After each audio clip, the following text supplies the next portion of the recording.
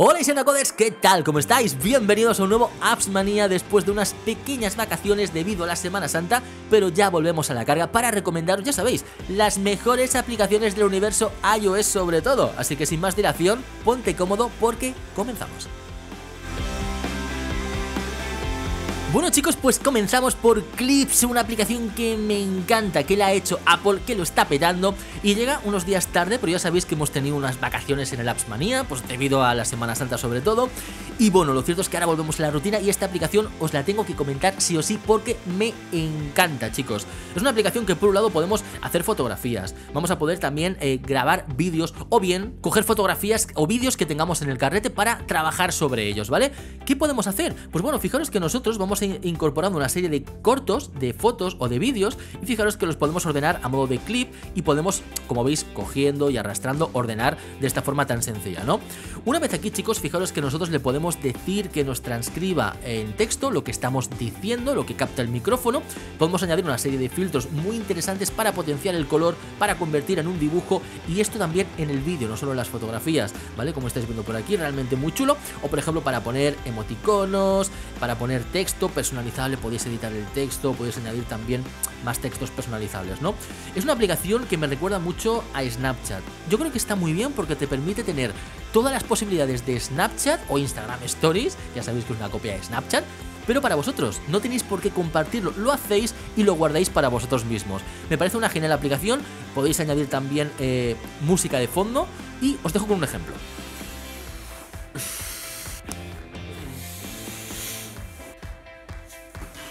Así me levanto yo cuando perreo. Bueno, ¿qué os ha parecido, chicos? Realmente muy, muy chulo lo que podemos hacer, ¿eh?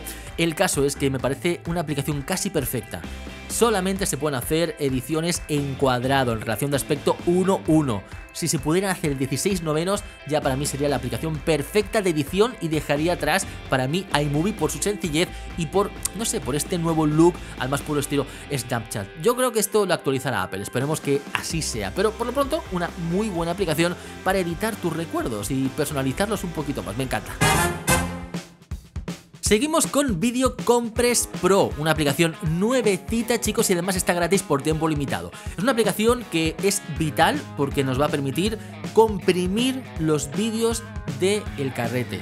Ocupa mogollón los vídeos, chicos, y de esta manera lo vamos a poder comprimir como nosotros queramos, prácticamente sin perder calidad, ¿vale? Cogemos el clip que nosotros queramos, podemos coger varios para trabajar en flujo, y fijaros que aquí le decimos cómo queremos comprimirlo, al 85%, al 70%, al 50%, lógicamente, contra más bajemos, más calidad va a perder, yo creo que al 50, 70 está bien, y vamos a tener archivos de vídeo que van a pesar la mitad. Bueno, le damos al go y vamos a hacer una pequeña prueba. Fijaros que la aplicación funciona muy rápida, chicos, también depende de la duración del vídeo. Y nada, ya está, desde aquí podemos guardar el archivo que hemos, el vídeo que hemos comprimido. Vemos lo que pesaba el original, lo que pesa el nuevo, podemos eliminar el original, guardar el nuevo, lo que queráis lo hacemos todo un poquito desde aquí, compartirlo con otra aplicación.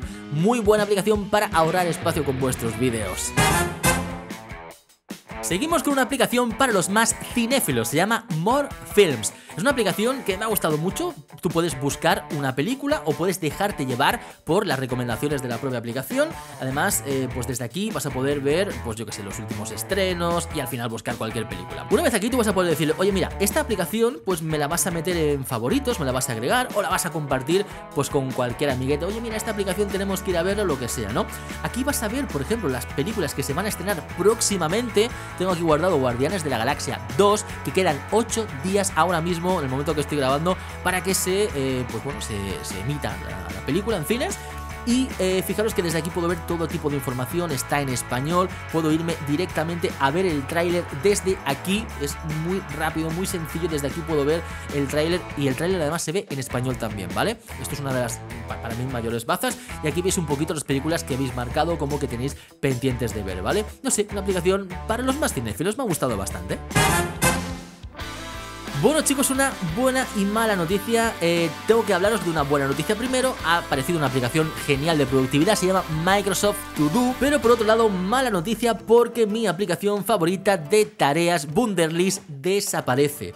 Ya sabéis que Wunderlist, perdón, fue comprada por Microsoft y eh, anunciado en el blog oficial de Wunderlist, pues han anunciado que la aplicación va a desaparecer y en su lugar estará solamente Microsoft eh, To Do.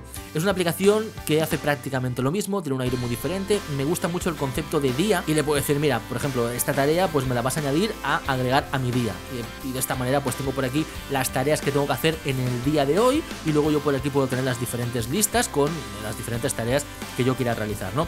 Me parece muy interesante, pero eh, me da mucha pena porque Wunderlist es perfecta. Por un lado, a esta aplicación será exactamente lo mismo que Wunderlist, así lo espero por lo menos, así lo han anunciado desde, desde el blog oficial de, de Wunderlist, pero por lo pronto no podemos hacer carpetas, no podemos compartir listas con otra gente y todavía está un poquito, pues yo que sé, un poquito en el aire. Está muy chulo el hecho de poder personalizar, probarla vosotros mismos, es una aplicación gratuita, ¿vale? Podéis personalizar el theme de esta manera eh, podéis poner un color diferente, con una fotografía diferente, un color plano, no sé, podéis personalizar todo esto un poquito a vuestro gusto y podéis agregar, pues bueno, tareas, luego las tareas, fijaros que es igual que Wunderlist, tenéis el espacio de nota, los recordatorios, la evolución de Wunderlist creo que será mejor porque el concepto de mi día y to do me gusta bastante, pero, pero por lo pronto le faltan muchas cosas que tiene Wunderlist. Espero que, que se pongan las pilas.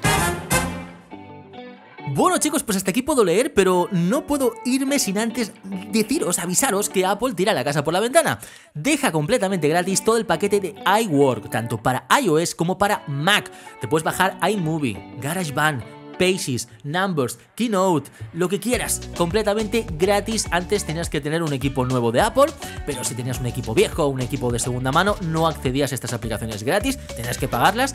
Apple por fin las ha puesto completamente gratis. Y además deciros chicos que en la descripción os dejo todos los links de descarga y también en nuestro canal de Telegram os dejo el wallpaper que estoy usando. Fijaros que además tengo este lock screen, bueno yo que sé, os dejo los dos muy chulos en nuestro canal de Telegram, ¿vale? Y ahora sí me despido, espero que os haya gustado el programa de hoy y nos vemos en un próximo video. ¡Chao!